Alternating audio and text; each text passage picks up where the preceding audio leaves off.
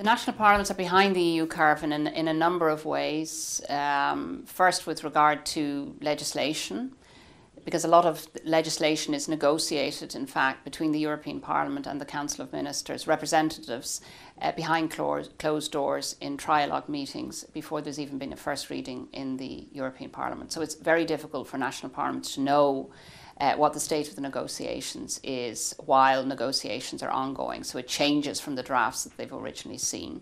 But recently, it's also behind the curve in terms of um, different kinds of powers that are being given to different executive actors at the supranational level, such as the, the Commission with regard to the European semester, um, and also, for example, the European Central Bank.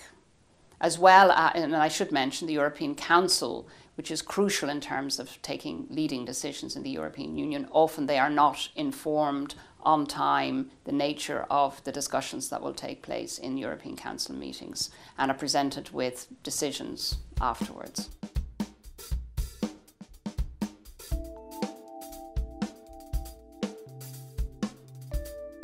I think given the manner in which the European Union is evolving, that it's neither only supranational or only intergovernmental, but is a complex mixture between the two, it's crucial that the parliaments across those levels, so both the European Parliament and the national parliaments, cooperate together. And I think it's happening to some extent already, but it can be intensified either through com- interparliamentary committee meetings, which are happening more and more often, also at the initiative of the European Parliament, but also national um, members of the European Parliament attending national parliament com- parliamentary committees to give information and have a dialogue at crucial moments in either the legislative process or in other non-legislative processes such as the European semester.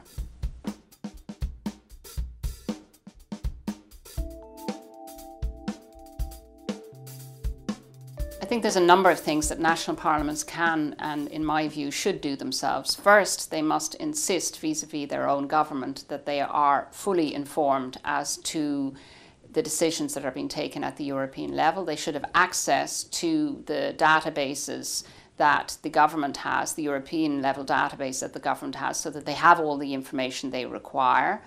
Um, that's one thing that they can attempt to do. The Germans have recently adopted a very far reaching a law in that respect that obliges the uh, government to give that kind of information to the parliament.